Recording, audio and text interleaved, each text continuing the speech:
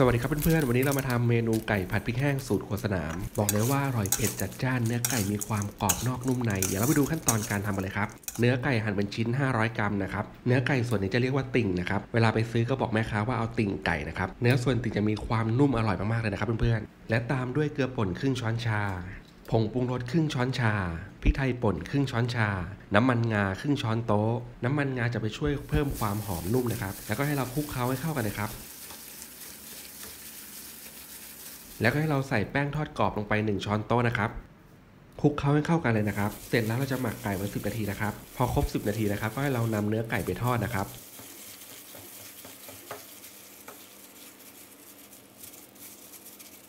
ให้เราใช้ไฟกลางในการทอดไก่นะครับ ทอดไก่ของเราให้ผิวด้านนอกสุกเหลืองนะครับ แต่ด้านในเขาจะมีความชุ่มฉ่ำนะครับ เนื้อเขาจะนุ่มๆนะครับ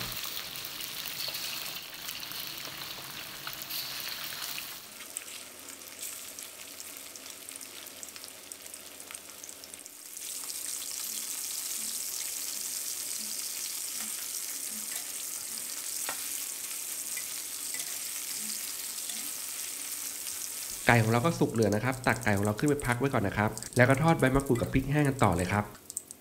ใบมะกรูดฉีก 5 ใบ พริกแห้ง 8 เม็ด ทอดพริกกับใบมะกรูดให้สุกกรอบเลยนะครับ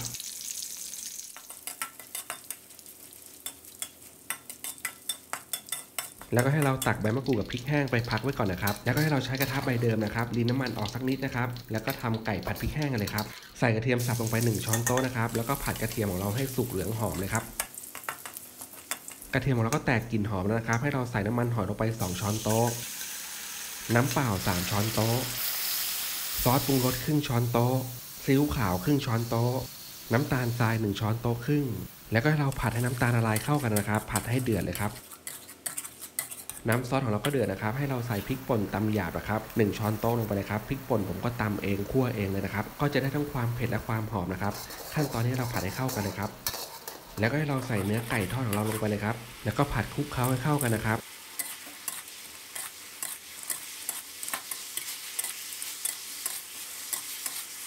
ผัดเข้าก็ดีนะครับ ให้เราปิดแก๊สเลยครับ แล้วตามด้วยพริกแห้งใบมะกรูดทอดนะครับ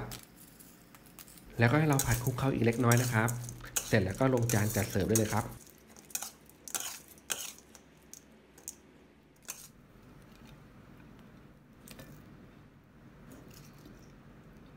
เสร็จแล้วนะครับไก่ผัดพริกแห้งสูตรโคสนามบอกเลยว่าเมนูนี้อร่อยเผ็ดจัดจ้านมากๆ ถ้าเพื่อนๆชอบนะครับก็สามารถนำสูตรโคสนามไปทำทานกันได้นะครับ วันนี้ผมต้องขอตัวลาไปก่อนนะครับ วันนี้สวัสดีครับ สุดยอดมากครับ เมนูนี้บอกเลยข้าวหมดหม้อ